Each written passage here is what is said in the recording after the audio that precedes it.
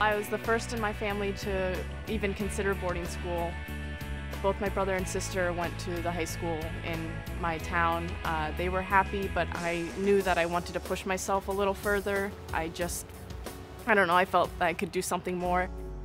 I'm here to find my thing, my groove, and what I really am passionate about. Right when you get into high school, a lot of people automatically look towards college, but here they have it so you're working for short-term goals and long-term goals. So it's not about I need to get this good grade or I won't get into college. It's more like you're working for yourself and whatever level you get to, that's good enough. And you live for high school and for Blair, not only for college.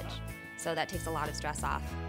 When I first came to Blair, I was a little bit skeptical as to how I would fit in, if I'd make friends right away. And for the first week, it was a little bit hard, but a lot of the kids were just really nice to me, and it was easy to make friends. Having a roommate your age from a different background. My roommate, she's used to the farm life, country life, and I'm a city girl, but we meshed pretty easily. And Blair does an awesome job with selecting students who would be compatible. A prefect is somebody who lives in the dorm with underclassmen and they're there for them to help them go through any problems that they're going through. They've been through the same experiences their person to lean on. So when I was a freshman, they were my role models. And to be in that position now, being a senior and being that prefect for the underclassmen, it's really great to see the whole circle of things at Blair. That's great. That's really important. That's a big difference. Because remember, we're still located. I think the great thing about Blair and about teaching at Blair is that we get to see the students in so many different fora. We see them in the classroom, obviously, so we see their academic side. We see them as athletes, we see them in the dormitory, we see them as people uh, in, in every sense of that word. They see us as teachers and they see us as coaches and they see us as people who work in the dormitory. Uh, they see us as parents, as husbands, as friends, they see us as advisors and so they see, they see the, the whole person. The, the great thing about that is that we get to see them in very much the same sort of way. And so that makes for terrific relationships, very productive relationships in the classroom.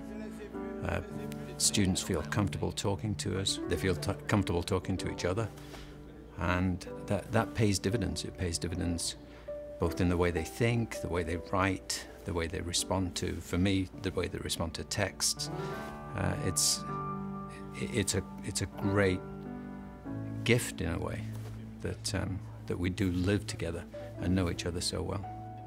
I had three or four teachers who I consider my friends. Like, who would ever thought that? But I go to them and I talk to them about my problems and where I want to go with my life. And they just really look out for you.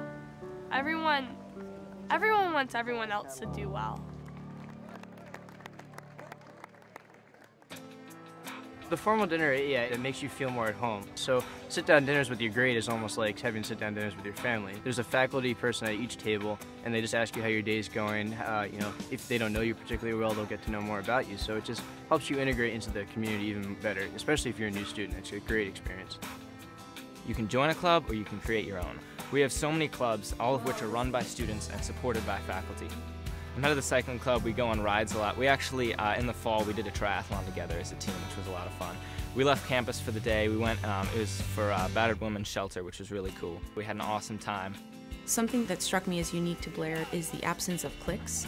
I think that they're confident and uh, socially outgoing, but also um, pretty comfortable reaching out to to other students and to faculty when they do encounter um, you know obstacles or insecurities.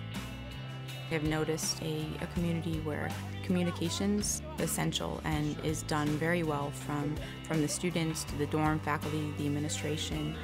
I think that there's an unstated common goal of, of working hard, of valuing community, and taking pride in our work without being pretentious or self-important. I'm living in a totally different world from my home, and I don't get to see my parents nearly as much, but talking to them after experiencing Blair, I think that they've seen a level of maturity skyrocket in me, which is really good.